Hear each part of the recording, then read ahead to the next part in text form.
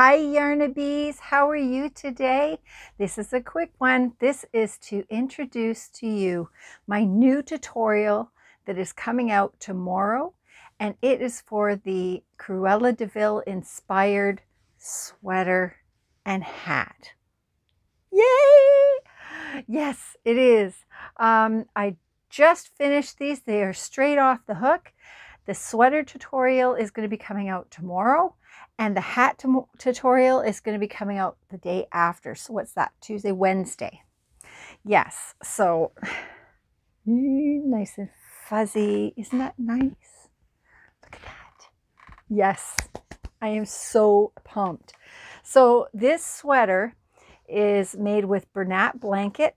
I know, I know nobody likes working with Bernat blanket, but that's okay because you don't have to use Bernat blanket. I just decided that I wanted to because of this yarn right here. Um, this yarn is, it's a black speckled yarn. I'll put a picture up so you can see a little bit better.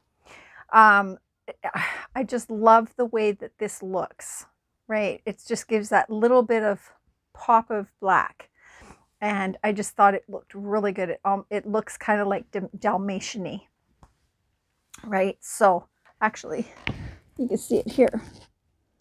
Yeah. So yeah, so what I did was I did, oh, the whole, the back of the sweater. You, if hopefully you can see it. it's black and white on both sides, right? And then what I did was I did opposite, uh, opposite sleeves. I did a black with the white and the white with the black. And then I went even further and I did white with the black sleeve and black with the white sleeve.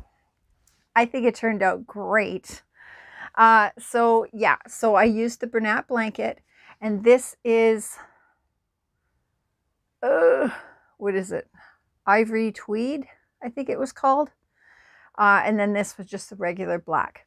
Okay, so now you can use any bulky six weight yarn for this. Pick one. you can use any one you want uh, as long as it's a bulky six. Okay, and then this, this is um, Red Heart Fur. I'm not sure if they make it anymore. They might. I've got a stockpile of it. So uh, I just happen to have it on hand. You can use the Go for Fur. I think it's called Go, Go for Fur. Go for Fur. I think it's called. Anyways, any fur kind of yarn that you want, you can use for the brim. Or if you don't want to use fur at all, you can use the same yarn in that you um, used for your sweater. And then just do the front post, back post uh, brim. I explain all that in the tutorial. So anyways, I hope you enjoy this tutorial. I'm so excited for it. I've been wanting to do it for a long time and, uh, and I finally got it done. Yay! so yeah, so check back tomorrow. And when you finish yours, I would love for you to put a picture on my Facebook page at Crochet A in Facebook uh, and show me what you have done. And you can do, you don't even have to do Cruella de Vil colors. You can do it in any color, really. But I just figured tis the season. We're coming up on October.